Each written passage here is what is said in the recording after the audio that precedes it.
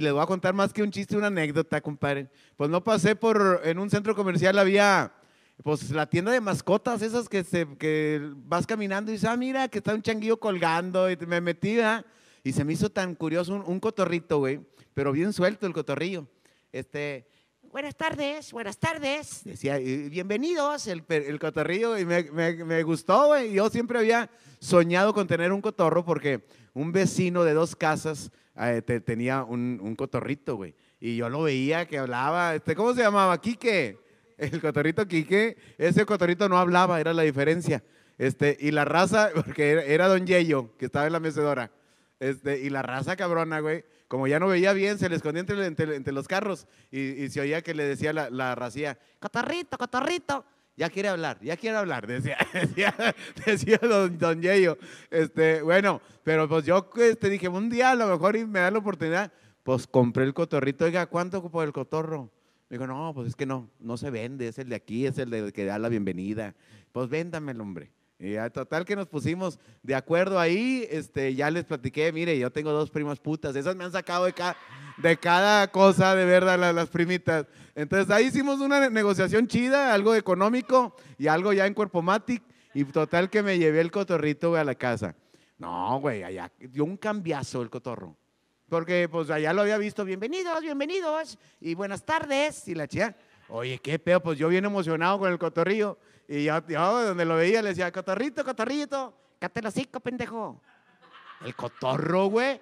Yo, qué pedo con el cotorro loco, güey. Dije, no, ha de ser que está, pues, malhumorado, como vea que hoy no amaneció de buenas. Al siguiente día le, buenos días, tu chingada madre. Y le, ah, cabrón, güey. Dije, qué pedo con el cotorro.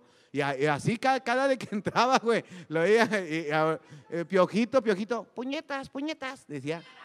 Yo, no mames, güey, qué pedo con el cotorro, güey. Y eh, así, güey, eh, la, la patita, tu chingada madre, la patita. ¡Ah, la madre!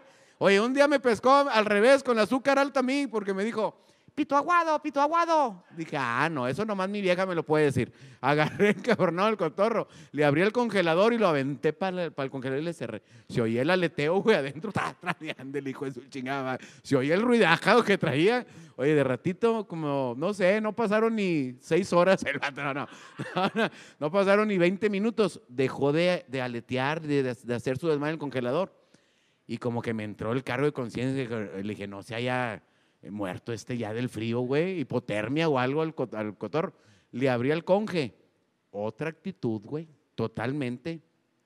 Empezó el cotorro ya. Este, buenas tardes, señor eh, eh, caballero, eh, amo y dueño de este hermoso hogar. Ala, dije, mira, si él le sirvió la congelada que le di.